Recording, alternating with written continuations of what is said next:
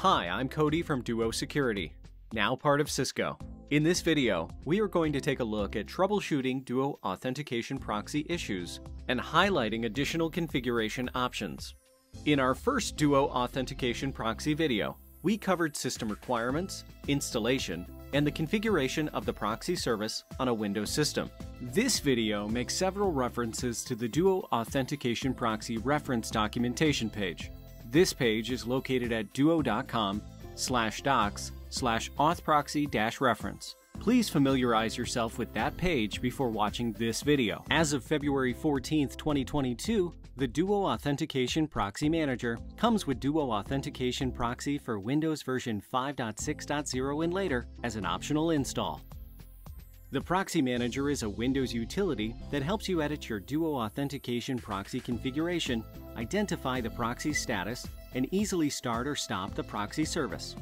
Before the Proxy Manager, we needed to make manual edits to our Duo Authentication Proxy configuration file via a text editor, which could introduce typing errors without identifiable error codes.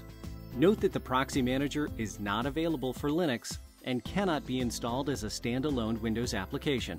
Also, please note that the Proxy Manager cannot manage remote Duo authentication proxy servers. The Proxy Manager only functions as part of a local Duo authentication proxy installation on Windows servers. Don't forget, stopping or restarting the Duo authentication proxy will interrupt any running Active Directory or LDAP directory sync processes, as well as cause Radius, LDAP, and Duo single sign-on user logins to fail until the proxy service is running again. To avoid disruption, we recommend restarting your service during off hours or planned downtime. Now, let's dive into the Proxy Manager. To launch the Proxy Manager after installation, click the Duo Authentication Proxy Manager icon or enter the following command prompt on a Windows machine with elevated privileges. The Proxy Manager will launch and automatically open your authproxy.cfg file for easy editing. The Proxy Manager shows three important status details. The current state of the proxy service, which can be running, stopped, start pending, pending, stop pending, error, or unknown the installed version that appears with an alert icon and update link when the Proxy Manager detects availability of a newer authentication proxy release, and the current uptime of the Duo Security Authentication Proxy service if the service is running. Use the Configure pane of the Proxy Manager to make changes as instructed by the documentation. For additional details on each section of the configuration, please review duo.com slash docs slash authproxy reference hashtag configuration. When you edit authproxy.cfg contents within the Proxy Manager, your changes get saved to a temporary file swap. No changes are made to the actual authproxy.cfg file until you click Save. For more information, please see the documentation. After you click Save, click Validate to run the connectivity tool against your proposed config changes. Validation results are shown on the output pane. If validation detects issues with your configuration, the Proxy Manager will show an alert. Scroll through the validation output to locate any problematic options or settings and make the necessary corrections in the editor. Click Validate after your changes to confirm that you have fixed any issues. Click Save when you have finished making changes. Remember that changes to the authentication proxy config require a restart of the service to take effect. The Connectivity Tool. Starting with Duo Authentication Proxy version 2.9.0, the proxy includes a utility known as the Connectivity Tool that you can use to discover and troubleshoot general connectivity issues. Please note that this tool is not backwards compatible with authentication proxy releases older than version 2.9.0. The connectivity tool is not a configuration tool. It will not walk you through setting up the Duo proxy services, but it can point out basic misconfigurations and help you figure out issues such as an inability to listen to a port, inability to contact remote servers, inability to communicate with the Duo Cloud service, and similar problems. To start running the connectivity tool on Windows, first, open an administrator command prompt on your Duo proxy server and run the command from the Running the Connectivity Tool section of the documentation.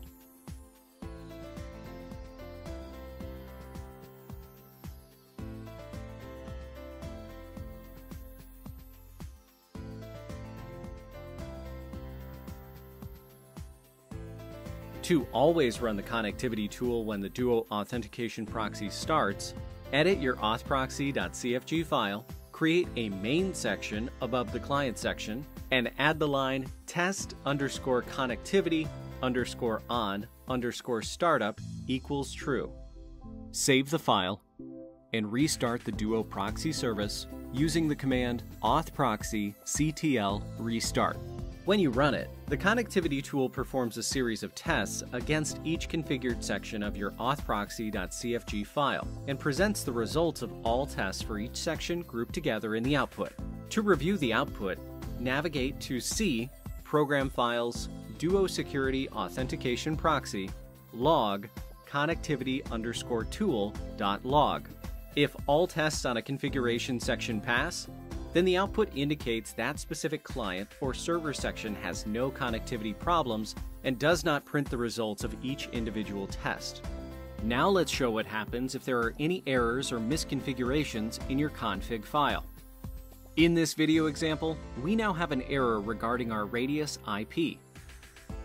If we did not initially notice the error, we could run the connectivity tool and check the warning and error feedback to see what we need to change in order to receive a pass on all configuration sections. In this example, the error indicates that there is an unexpected configuration item in the config file. Specifically, it is a mistyped radius IP parameter. With this information in hand, we can correct our proxy configuration file.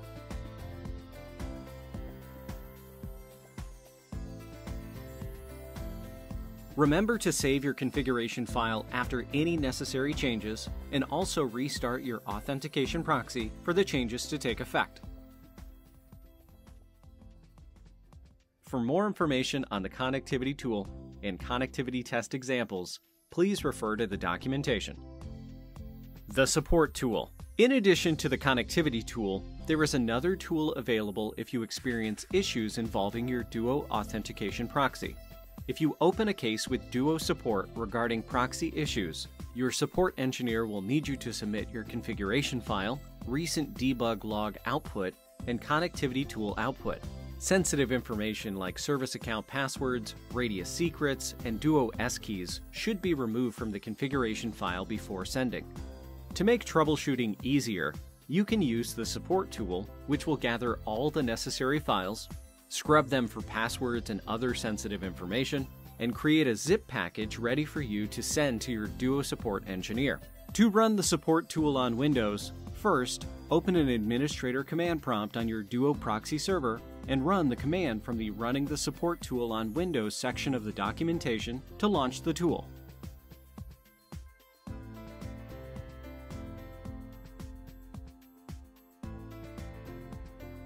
Your zip file will be saved in the Duo Authentication Proxy base installation directory as duo auth proxy support datestring timestring.zip and can be accessed by navigating to the Duo Authentication Proxy base installation directory.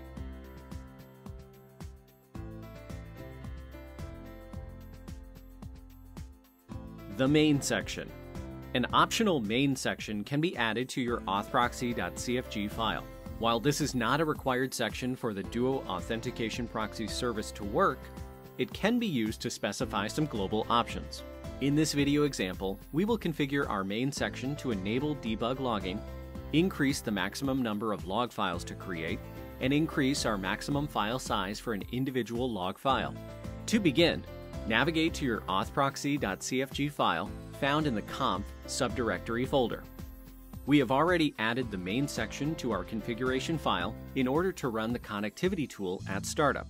Let's add our other configuration options. Within the main section, type debug equals true.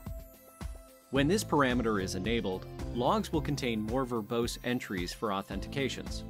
Next, add a new line under debug and type log underscore max underscore files equals and add the maximum number of log files you wish to create. The default is 6 files, so let's increase that to 10 by typing 10.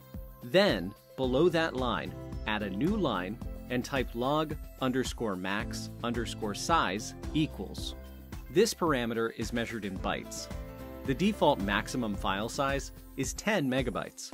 Let's increase that to 20 megabytes by typing 20971520.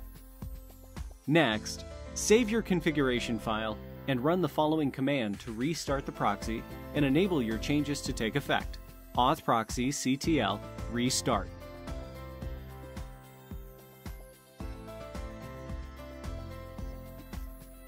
Encrypting passwords and secrets.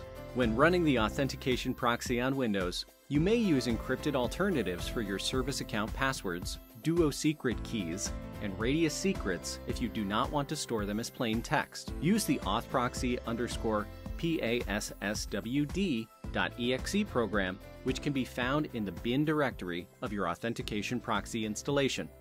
Note that a password or key encrypted with this tool is unique per machine and cannot be copied to a different server. The encryption tool can encrypt a single password or secret at the command line, or can be run against your config file to encrypt all passwords and secrets. We will demonstrate encrypting a single password. To run encryption on the whole file, please refer to the Authentication Proxy reference documentation. Let's begin encrypting our service account passwords by opening an administrator command prompt and typing authproxy underscore passwd Next, you will be asked to provide the password from the configuration file that you wish to encrypt. Let's encrypt the password for our Active Directory service account.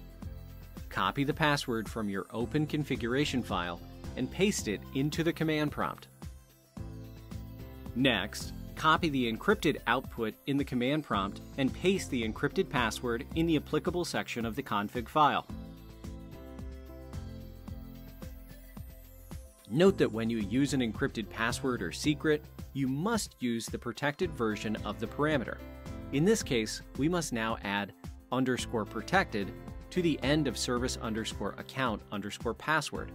We have now successfully configured our authentication proxy config file with an encrypted password.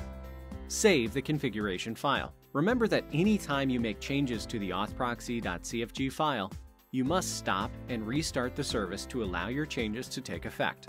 In the administrator command prompt, type authproxy ctl restart.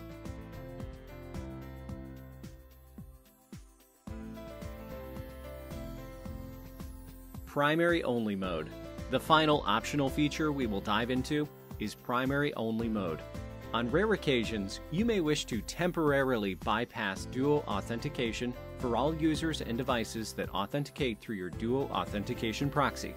This mode may be helpful if the proxy service is unable to reach Duo or in cases of service degradation. You can do this by running the proxy server in primary only mode.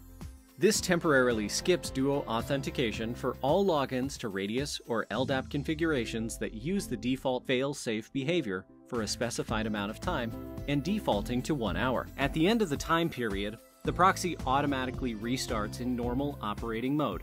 To run primary only mode on Windows, open an administrator command prompt and copy and run the following executable command from the primary only mode section of the documentation. This command will restart the Duo authentication proxy in primary only mode for one hour. Then, keep the command prompt window open. After the hour, the proxy will automatically restart in normal operating mode. For more information on primary only mode and primary only mode logging, reference the documentation. Thank you for watching this second video on the Duo Authentication Proxy. If you need any additional help, please visit duo.com slash docs slash authproxy reference for additional details on authentication proxy configurations, troubleshooting, and additional options.